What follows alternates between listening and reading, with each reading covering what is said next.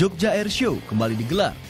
Gelaran yang paling ditunggu-tunggu penggemar olahraga dirgantara tersebut diadakan di Parangtritis, Bantul, Yogyakarta, Jumat siang. Berbagai olahraga menantang seperti para layang, para motor, microlight, atraksi pesawat udara dipertontonkan di sini. Tergelar ke-11 kalinya tidak sembarang orang turut serta dalam Jogja Air Show ini. Hanya atlet-atlet profesional yang dapat unjuk kebolehan dalam festival ini.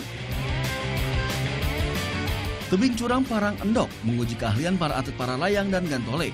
Hembusan angin Samudra Hindia dapat mengancam keselamatan peserta bila kurang berhati-hati. Berkali-kali percobaan penerbangan harus tertunda, bahkan tak sedikit yang gagal karena besarnya hembusan angin. Ini di pantai ini semua olahraga di Kantara bisa terselenggara. Biasanya kalau kita ingat dan kita tahu, kalau yang namanya gantole dan para layang itu kan membutuhkan dataran tinggi, biasanya di gunung. Ambil contoh di PON saja, penyelenggaraan PON tidak bisa jadi satu tempat lokasi yang baik. Mungkin kalau nanti tuan rumahnya Jogja PON bisa sekalian semua aerospot ada di sini. Tak hanya sebagai ajang adu keahlian, Jogja Airshow juga menjadi wadah berkumpulnya para penggemar olahraga dirgantara seantero Nusantara. Tercatat 374 atlet berbagai cabang olahraga meramaikan langit pantai selatan. Jadi Jogja Airso itu bagi para penerbang itu pestanya penerbang ya.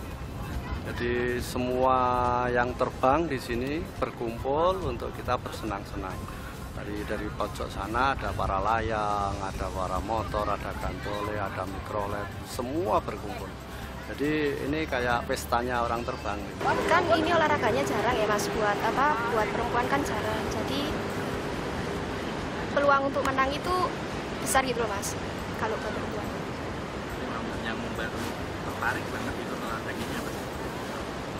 Ya itu kita bisa pergi ke mana-mana. Kan saya dari Malang bisa sampai sini. Festival ini tidak mengganggu aktivitas penerbangan di Yogyakarta. Lokasi acara sendiri berada cukup jauh dari Bandara Adi Sucipto. Acara ini akan berlangsung hingga hari Minggu mendatang. Samad Lestioro melaporkan untuknya.